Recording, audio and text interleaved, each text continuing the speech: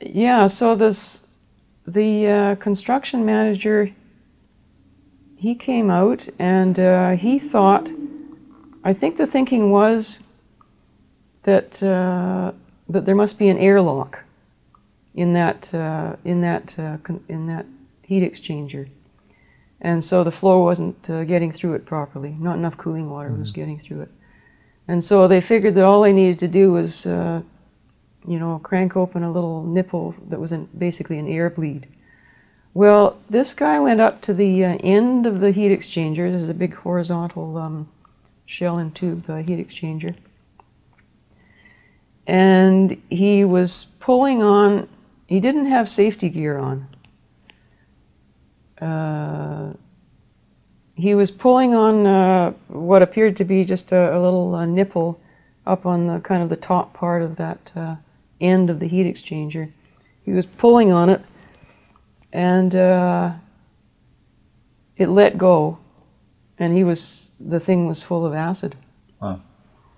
and so he had misjudged, he didn't understand what he was pulling. As soon as the acid uh, came gushing out, he knew.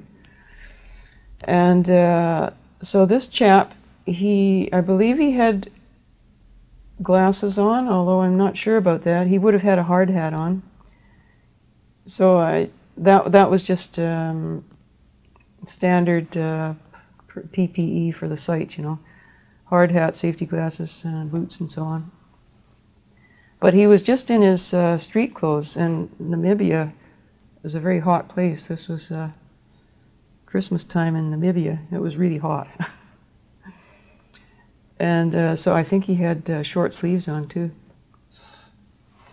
And uh, anyway, this this acid wasn't under a lot of pressure, but it was under some pressure, enough that it came straight out, right at his face He hit the he showers. he was no. What No? happened?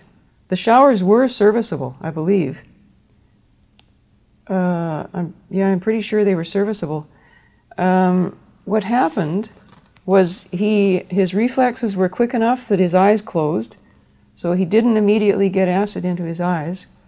He got it all over his uh, face and neck. I, think he I think the hard hat shielded a little bit, face, neck, chest, and so on he was uh, you know anybody that deals with acid is kind of they kind of know what to do Yeah. so he didn't open his eyes he knew that he couldn't open his eyes he was uh, shouting for help this part of this is uh, is the story that was pieced together through this chap's uh, story and others who who ran to help Okay. so there was one fellow that was passing by just at the time, and he ran to uh, help him.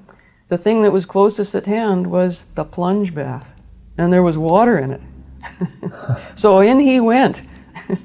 By this time, I got down there because I'd, I'd received word up in the uh, engineering uh, in the offices. They were trailers, you know, where we had our offices. The word went round like wildfire, and uh, so I tore down there.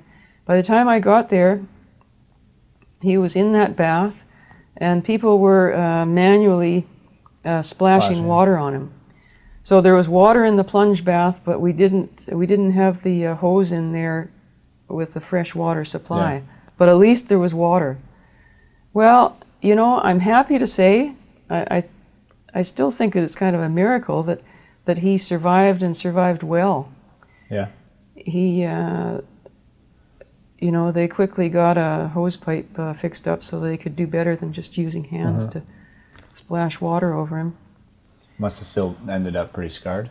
He, d- well, it wasn't as bad as you might think. I, I believe he had skin grafts. He was, he was, first aid uh, took over as soon as they got down there. It was all handled pretty fast. This was in uh, 2003. So, you know, everything was well set up on that construction site. Uh, they were well resp- ready to respond, you know. He was uh, flown out to, I guess, back to uh, Johannesburg. I'm not exactly sure where he went, and uh, kept in hospital for quite some time. And I believe he had some skin grafts, but at the end of the day, his sight was good, and uh, whatever skin grafting had to be done was turned out fine. So he lived to tell the tale. He wasn't severely scarred. He was burned. But uh, anyway, there you have it.